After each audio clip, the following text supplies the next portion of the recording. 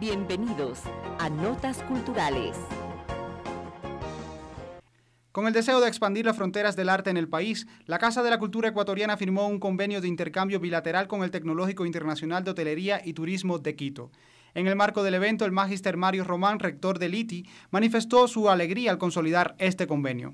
Para el Tecnológico Internacional ITI, eh, la suscripción de este convenio tiene un significado muy especial primero por todo lo que representa la Casa de la Cultura Ecuatoriana, eh, por todo lo que genera la Casa de la Cultura Ecuatoriana y por otro lado por eh, lo que esperamos nosotros para nuestros estudiantes, que es la posibilidad de que ellos puedan hacer sus prácticas a través de la eh, institución y además el poder trabajar en conjunto Casa de la Cultura Ecuatoriana, el Tecnológico ITI, para la formación y la profesionalización también, ¿por qué no?, de los funcionarios de la, de la Cámara.